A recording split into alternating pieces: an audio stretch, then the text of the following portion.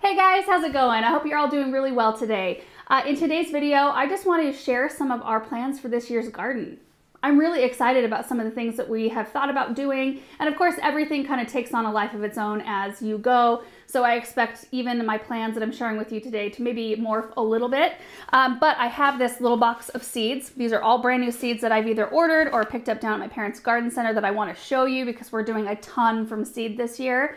I also want to show you just briefly how I like to organize my seeds and then how I'm organizing my brain because I'm having, like, there's way too many things going on even just in this little box and I can't hold it all in. So uh, anyway, I'll show you a spreadsheet that I am kind of working on. It'll probably change as well as I want to put more information in. But anyway, the biggest piece of information is that we have a vegetable garden. Uh, for those of you guys who have um, followed along. It's just a fenced in raised bed garden. We've got 12 raised beds in there of various sizes and we'll probably pop a picture of it up on the screen so you can see. In two of the three by four beds, so two of the smallest beds toward the outer part of the garden, I already have garlic planted. So there are 120 heads that will come up, but that will only take up space until the first part of July when I harvest. But most of the rest of the space is gonna be dedicated to a cut flower garden this year. I'm so excited. And I do a ton of flowers around, like in flower beds that we use for cutting, but I ne have never done like a dedicated space for it where we've got like a good plan in place for succession planting so we make sure to have blooms all the time um, and then just trying out different varieties and figuring out which ones work the best for me in my area and it will be different for everybody um, so we are planning on doing a whole series on it uh, kind of a beginner cut garden series and so I'm hoping that you guys uh, are excited about it. I think it's where a lot of our brains are at right now. A lot of us are kind of um, shifting toward flowers and doing more flowers. And um, it's not all going to be just in my vegetable garden space. In fact, we will be dedicating a large portion um, in another area of our garden to dahlias. I ordered a ton of dahlias and I've had really good success just with the few I've planted throughout the, the past few years. They've grown beautifully, huge, gorgeous flowers. So I'm really I'm hopeful about that project. So we'll do videos on that as well. Um, but anyway, so that is kind of in a nutshell what we're planning on doing. Now I will be planting other vegetables and things somewhere else, um, which we'll share about a little bit later, but I've got a space dedicated for like bigger crops, vine crops, squash and melons and corn, uh, sunflowers, I'm going to be planting somewhere kind of on their own where they can just grow and be huge. Um, and then also some filler type things like raspberries and such. So anyway, it's January, so that's what we're, that's like what my brain is thinking about. And it snowed last night. It is bright in here in the sun porch. In fact, I hope this video looks good. It looks really bright behind me right now. And I do have a shade up, but let me show you what it looks like outside. It's quite pretty. Doesn't it look pretty? It's already starting to melt a little bit. You can see it dripping off the house right here. It's supposed to be 41 today, but that's how this winter has been. It's been amazing. We get a little bit of snow, it melts off within a day or two, and then we can get some new snow, and it melts off. I love it. So yeah, that's what we're dealing with outside right now. It's very warm up here in the sun porch, and it's kind of, I don't know, it feels really nice. So anyway, it's a good day for a video like this, I think. So let's just go through my seeds. Um, I ordered from two different places online, and then of course, these are all, this is a pile from my parents' garden center. This is not all seeds. That's filler paper right there. So there's my stack. Okay. So first of all, I, I find that you get differing things from different companies companies online. And we had the question this last week, like, how do you know a place is legitimate? Um, you know, I would just there's a lot of talk online. There's a lot of good gardening groups. Um, you can ask questions in those groups where people have had good luck ordering. I typically like um, Johnny's Seeds, Selected Seeds is where I order the bulk of my seeds because, I mean, they don't show up with pretty pictures on them. All the pictures are online, but the backs of them have so much cultivation information that I just like, it's the best I have found. Like of any packet I have ever bought ever, they have the best information, which has been so helpful to me. And I've actually had more success following their um, suggestions on the back, like knowing, yeah. I'll get into that when I talk about specific varieties. This pile right here is from my parents' garden center. Um, you'll notice that some of the packets are white. These are bulk seeds. Um, so we have a bulk seed, well, I think I have a picture of it, um, where we carry like 300 plus bulk seeds that are really like our best sellers that do the best in our area. They do have a website too where you can buy those. And so we'll link all of these websites down below if you're interested. But I do plant a lot of those types of things here. And it's particularly like a lot of it's vegetables um, because I know they do really well. Um, so I lean on that, but I also have some really fun ornamentals that I picked up from their seed racks. Um, some of them are from the Snake River Seed Cooperative, which is um, packed in, this is like based in Boise, Idaho, which is just 67 miles down the road.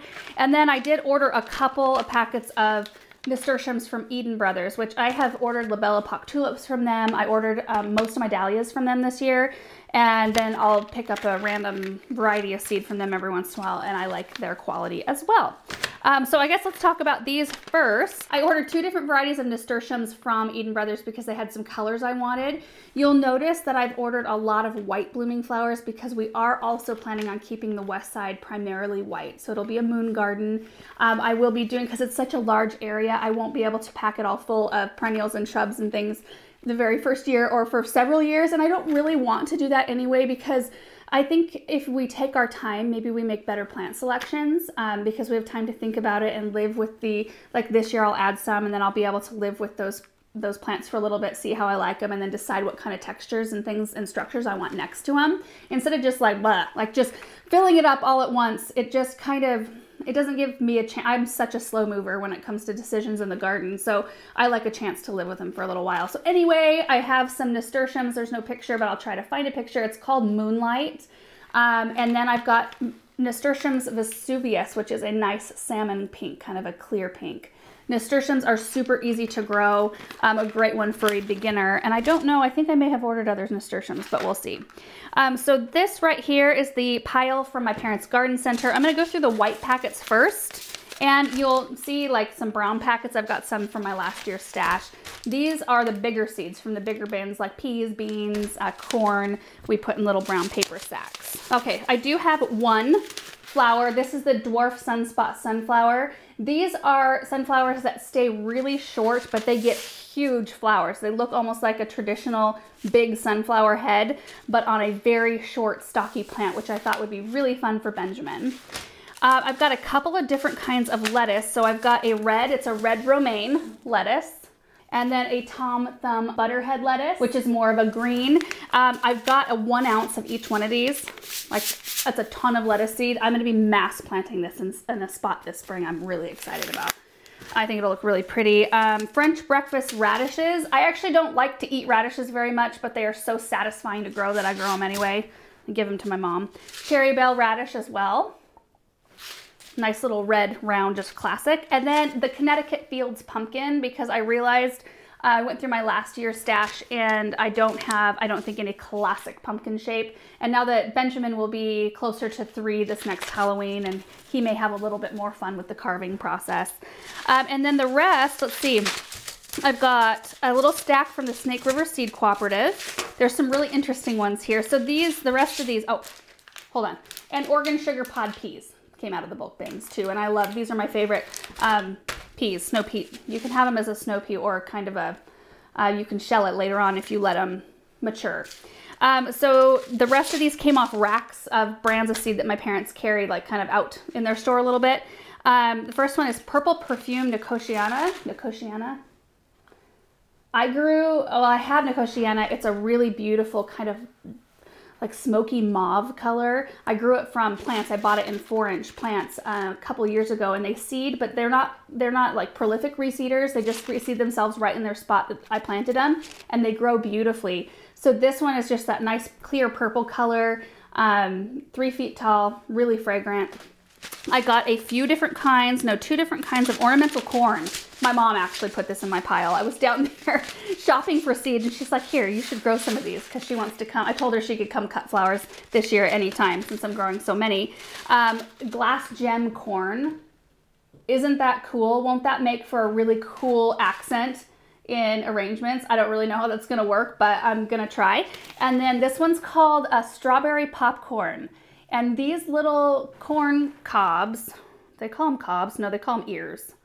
Two inch ears, little itty bitty ears with the red um, little corn seeds. My goodness, my terminology is awesome. I am so excited about this because I think these are gonna be perfect for flower arranging. Anything small like that. And then I've got some millet. This is Indian pearl millet. This is actually a type of pennisetum. This one will get like six feet tall. The seeds are like a beautiful blue-gray, which I thought would be beautiful to try growing. Um, this one is interesting, and you'll have to let me know if you guys have ever grown it. So the toothache plant is another name for it. And it says that it chew the flowers or leaves for an epic, crazy three-minute mouth experience. uh, so highly medicinal and gives you a tingly, clean mouth and a surge of energy. I told my mom I'm going to be out in the garden just like trying to chew this one down for some extra energy this year. But this will be interesting. And the flowers are kind of cone shaped, kind of yellow, maybe a little touch of orange in there. Um, we've got this one called Bee Friend. Um, and this one you can actually sow as a cover crop if you want to. Um, the flowers come up and unfurl kind of like fiddlehead ferns.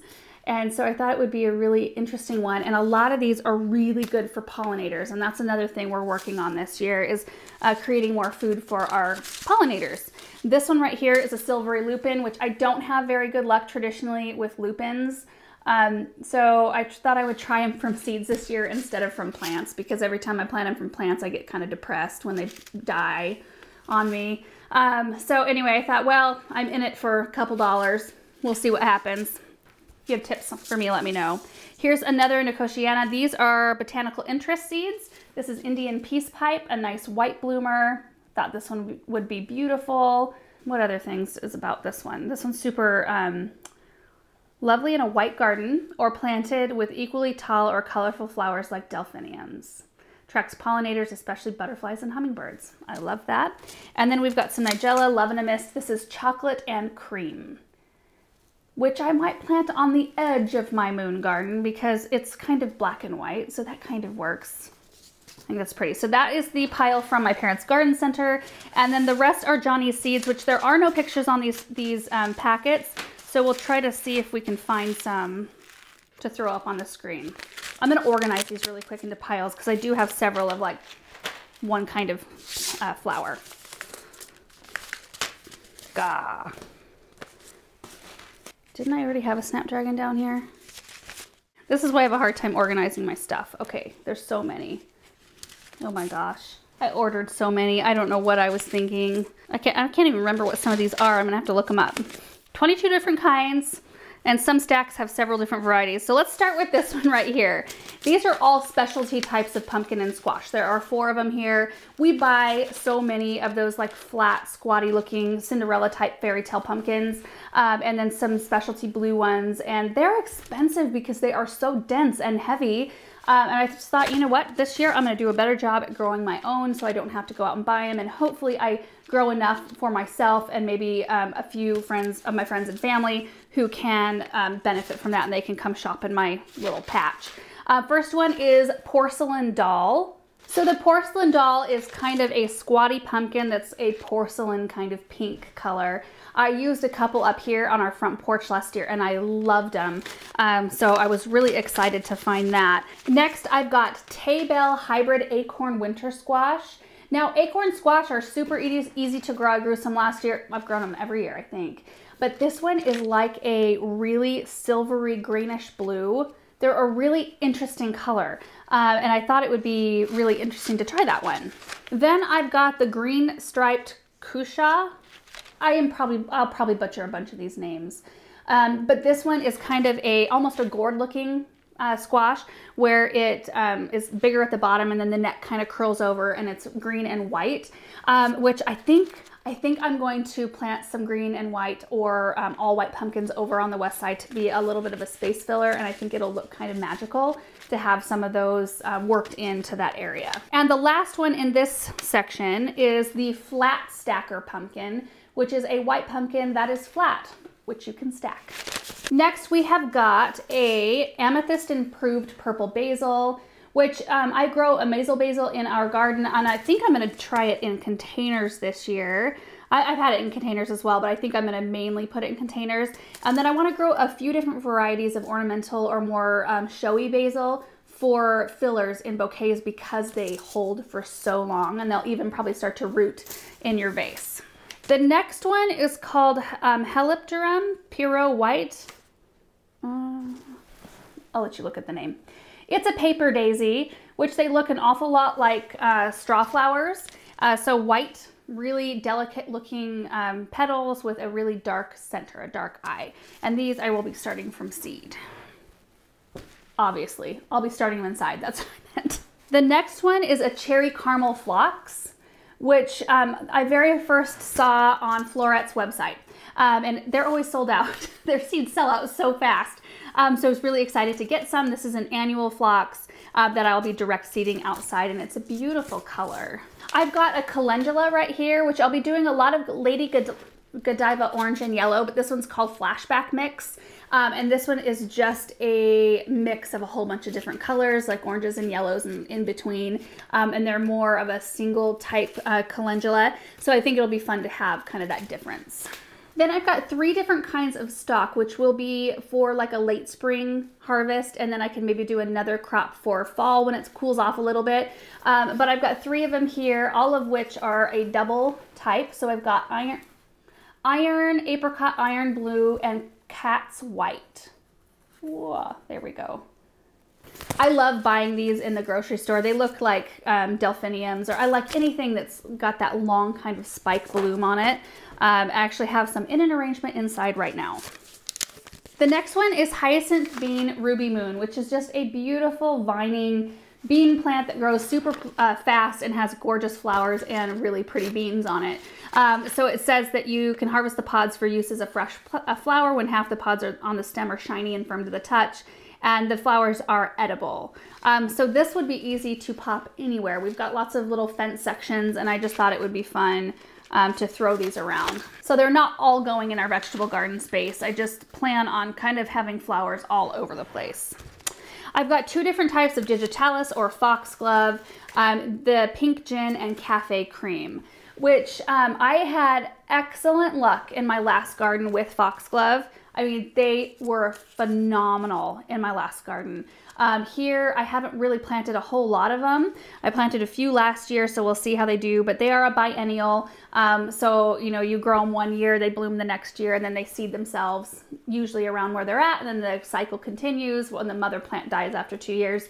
Um, so I planted a whole flat of an apricot colored uh, foxglove last year and it was like the first year so I didn't get any blooms so I'm hoping this next year I have this beautiful stand of apricot colored blooms but I thought it would be fun to get started with some more of these. These are highly poisonous so you do want to make sure to be careful. I remember in my parents garden because we always had cows in the pasture and we had to be really careful about rhubarb and foxglove and delphinium and all of those things making sure they didn't end up in the compost pile in the pasture. So keep that in mind. We've got a couple different types of pincushion flower. We have a Fama White and Salmon Rose. It says that these are an annual, so I've never actually grown pin, pincushion flowers as an annual. I have some out in my garden that are amazing perennial. The plants even look good right now, out in January. I mean, the, the foliage still looks really good. So I'm really excited to see how these do. But they're both beautiful, um, and they look like they have some nice long stems. Snapdragons, of course, I started quite a number of snapdragons from seed last year. I did Potomac White, which I bought more of, and I don't know why I did that because I saved a ton of seed. I might see if I can, my mom might want these. I also um, bought some Madame Butterfly Bronze with White and Madame Butterfly Bronze. So last year I grew the Bronze with White, and again, I'm not sure why I ordered more seed. Uh, I guess it never hurts to plant more snapdragons, but they are prolific seed producers. Um, so I gathered a lot. And then I also ordered the Potomac Apple Blossom right there.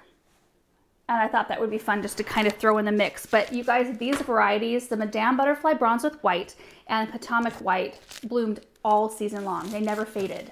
Um, they're in a spot that got a little bit of morning sun, uh, a little bit of filtered, and then sun again in the later part of the day and they just kept on going. They were on drip irrigation. They were watered with everything else, like all my regular perennials. I didn't do anything supplemental. I didn't even fertilize them, and they continued to grow amazingly. Uh, lots of different kinds of sunflowers. We'll just go ahead and pop the pictures up on the screen. One is called, uh, it's a single stem sunflower called Pro-Cut Plum. We've got one called Jade. Pro-Cut White Night. Another Pro-Cut White Light. I think I ordered a couple packets because those will go on the west side. We've got um, Pro-Cut Lemon and Sunfill Purple, which I think this is a branching type. No, single stem type. So I've got a lot more sunflowers in my last year's bins. Okay, we're making good progress here, guys. So we've got more Nigella, Love in a Mist. This one's called Albion Green Pod. We've got Lisianthus. It's Voyage to Champagne. I have never grown Lisianthus before. Um, it does say it's recommended to sow the seeds indoors, so we'll be giving them a try. And these actually came like in a little vial inside here. I kind of want to look because everything else is like loose in the package. Yeah. I don't know if you guys can see inside there, but it, they are tiny. They're pelleted too. Dang. Okay. Bells of Ireland, which are another one that I tend to buy a lot of, especially in the springtime, because they're such a really pretty chartreusey kind of light green. Um, really good filler flower for arrangements. Uh, zinnias, I did gather some of my own seeds last year, but I ordered more um, Giant Salmon Rose. Wonderful, wonderful color, huge flowers. I ordered the Giant Lime and the Giant White. Um, Eryngium White Glitter, it's a sea holly, so it looks like a little thistle. It's a perennial. Um, and I love, love this plant. I don't have any in my garden right now, so I'm excited about that. Um, Rudbeckia Sahara. So you guys know if you saw my winter sowing video, we already started the cherry brandy in the water jug out in front of our greenhouse. So the Sahara is a little bit more of like a true autumnal colors, like it it's like oranges and things like that. So I think that'll be pretty to mix up with my cherry brandy. A couple of different types of sweet peas. I've got the Spencer Ripple formula mix and a mix called Old Times. And then I already started the salmon colored ones in my water jugs. Couple different types of amaranth, which you guys, amaranth, I think these are both ones that grow really big. They are good sized plants and I thought I would grow them up kind of near a fence so I could kind of lash them to a fence if I needed to. But two different kinds, one called Coral Fountain and another one called Red Spike. Um, and I thought that these would be wonderful to work into like garlands and arrangements in the late summer fall. A couple different types of gomphrena. So I'm going to be growing a lot more Truffula Pink gomphrena because you guys remember that in my garden? It was like right up here, right by our front sun porch, and it, those plants were beastly and they make for really good dried flowers and they just perform their heads off. And I also had a white variety out behind our gazebo that was amazing. So I want to add more to the mix. Um, I've got a Gomphrena Audrey White and a purple right here. These will be started inside. This one I'm actually unfamiliar with in terms of growing. It's a tender perennial called Craspedia, Craspedia Sunball. It's a really neat, it kind of looks like the flambe that I plant in containers, but those are really miniature. This one has got like bigger yellow, like spherical flowers. They're really cool looking. And I think they're really, yeah, they're really good as a dried flower. The last two, I'm, I don't have any experience with either. Oh, this is the same thing. I ordered two of the same thing. Did I mean to do that? Copper Plume Atriplex, Atriplex is a beautiful filler uh, flower. It has red and green leaves and stems, and then they produce like these tiny little seed pods that are really papery looking on the whole stem. Um, they're just so pretty. The color is perfection to me. Um, so I thought this one would be fine. And this one is a direct seed, which I'm super happy with all of those that are direct seedable because I don't have, I mean, I have lots of grow lights, but I, it's still like my space still seems limited. So I think I'm going to be starting some in the greenhouse as well. Okay, move these out of the way here. Okay, so now I just want to touch briefly on how I like to organize my seeds and everybody has a different method that works for them. Um, you just have to find which method works for you. I've tried out several in the past. In fact, the last thing that I had was the galvanized seed kit, say saver kit from Gardener Supply, and that was really nice except for the fact that it was too small. Um, and so a lot of us like get ahead of ourselves and order a ton of seeds and then yeah, and I also for myself need to have a, a, system that's easily easy to expand or contract. So like I can add a lot of seeds to this quickly, um, and then I also can take them out easily, and I don't have to monkey around with anything. Um, Aaron and I organize completely differently. Like when we're um, organizing lists and things, I like to write everything out by hand. He likes everything to be on the computer. So anyway, everybody just likes to do stuff different. These tubs right here I got at Staples. They are meant for CDs and DVDs um, which I haven't had either of those for ages, but I have two of these. One of them's labeled herbs and vegetables, and the other one is labeled flowers. You see right there. And what I did was I created, I just cut it out with cardboard. We had a cardboard box here. I just cut out my own dividers um, and folded them. So they look like this right here. And they slide in here and they're like rigid enough that they hold up. So like right here is my herb section and it's very meager. My herb section sucks. It's like four, four packets. I need to amp that up a little bit. Um, and then the next section is vegetables right here. And then the back section is all of my bigger bags. So like right now, the Oregon Sugar Pod peas will go in the back there. And I just know because this is how I buy my beans, corns, and corn and peas that they are all right here. But everything like within the vegetable section is all organized. And this is the other thing. Um, I like to get into my seed bin and be able to do this. Like I want to be able to quickly roll through my seeds with my fingers and see every variety I have really quickly. Um, so that's just how I like to do it. Um, and I try to keep them as alphabetized as possible. It stays fairly organized all the time. So let me show you, whoa, except for the lids. I'll show you the flower one. This one, in fact, I had all of my seeds in just one tub and I went and bought a second one because I knew I was gonna have so many more flowers. So this one doesn't have very many for flowers right now, but you can see annual flowers in the front, perennial flowers in the back, and I can easily just like filter through, like I can easily see everything I have really quickly. I've actually got a lot of seeds in here I'll be starting this well as like in addition to these. Mercy. I don't know. We all have big plans in January, right? And then like real life hits when once you get to spring and you realize how much extra work you actually have outside because right now it seems like we'll have all the time in the world to dedicate to all to all of these seeds. So we'll see how this thing shapes up. But anyway, that's how I like to organize. In fact, I might take just a few minutes really quickly and organize just so I can show you guys what it looks like when it's all done here. If I have a lot of one thing, I should say, I like to rubber band them together. So this right here is my section of zinnia seeds. I've got a whole bunch of them right here, but that's easy. So many pretty sunflowers this year.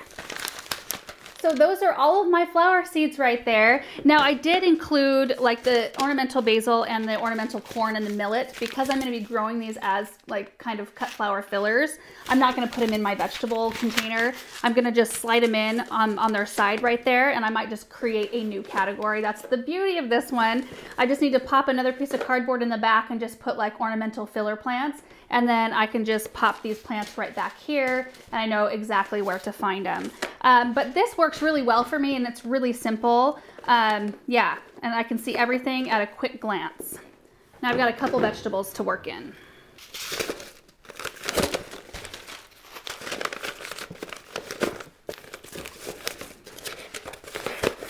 And there are all my vegetable seeds, which it's kind of interesting when you have so many different styles of packaging. You know, I've got like some seeds of change in this little yellow packet. Um, there's Baker Creek seeds. A lot of times come in these gigantic packages, um, so they don't fit. Well, they might fit. Hold on. Let's see. No, I think they'll fit. So scratch that. I won't complain about the size of those packages. That's perfect. It would be kind of nice though look-wise to have everything be kind of uniform. That's my formal garden tendencies kind of kicking in there. Okay.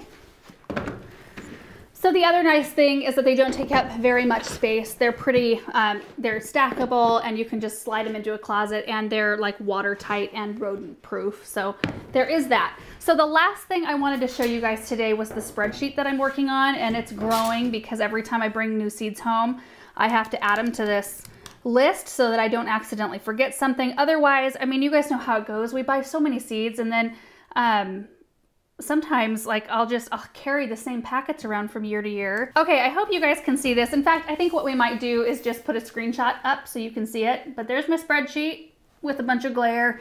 There are four different columns and two different sections. So the sections are labeled sow indoors and direct seed.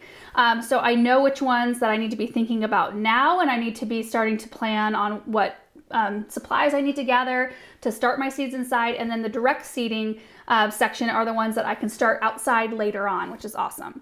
Um, and then they're broken down into the columns. The first column is the flower type. So you'll find there like aster, digitalis, eryngium, gomphrena, etc. The next column is the specific variety I'm dealing with, and then the next column is what color it is, um, because that's a little bit important for some of my projects because I need to organize where they're gonna go in my garden. And then I've got a column for the sow schedule. Um, so it tells me like here, it's broken down further into like I need to sow it six to eight weeks before last frost, or three to five weeks, or 10 to 12 weeks. And then there's also any special instructions that I found on the back of the package like if I need to pre-soak the seeds, I put it in this column and that way I know like I need to do that before I start the seeds. And so really like I see all of the information that's really important and pertinent at a really quick glance and then I don't miss any varieties. Um, I was thinking I do need to add uh, one more column and then just indicate which ones are perennials. There aren't that many, but I can just put like a little P next to it and that way I know like, okay,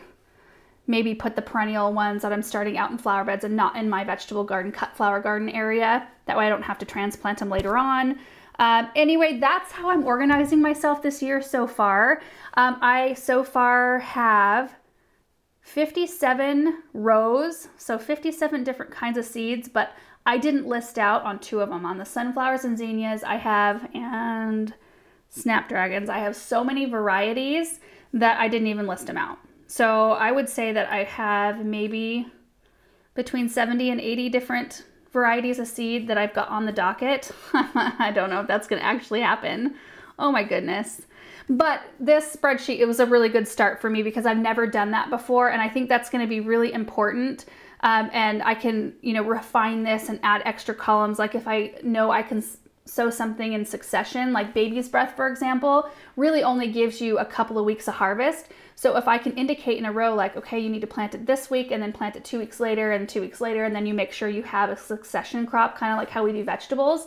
Um, that way I can have all that information in one space um, and then we can improve on it every single year. So that's it for today's video. I hope this was interesting to you. Just kind of going through, seeing my process. I really needed to get those seeds organized and because there's snow on the ground, it seemed like a perfect day to do that. And then just share some of the plans that we have for this year um, because I'm really looking forward to it. We've been planning this cut flower garden since like last year. I told Aaron last at the end of the summer when I was looking at those gorgeous zinnias in the raised bed, I told him I want to do all flowers. I just want this whole area to be in flowers uh, because I enjoy that so much and I enjoy making bouquets so much um, that I thought it would be really fun. So um, we will be using a lot of these flower seeds in that space plus a lot of um, pre-started flowers like I mentioned and then we just have stuff going on all over the place. We have such a huge list of projects for this year um, and a lot of a lot of fun ones that I'm excited to share with you guys kind of as it evolves. So anyway, thank you guys so much for hanging out with me and watching this video. If you saw anything that was interesting to you, we will link the websites down below where I got these seeds so you guys can check it out. And I would love for you guys to grow these same things along with me and so we can share notes. We can compare notes and learn from each other. So anyway, thanks guys for watching. We'll see you in the next one. Bye.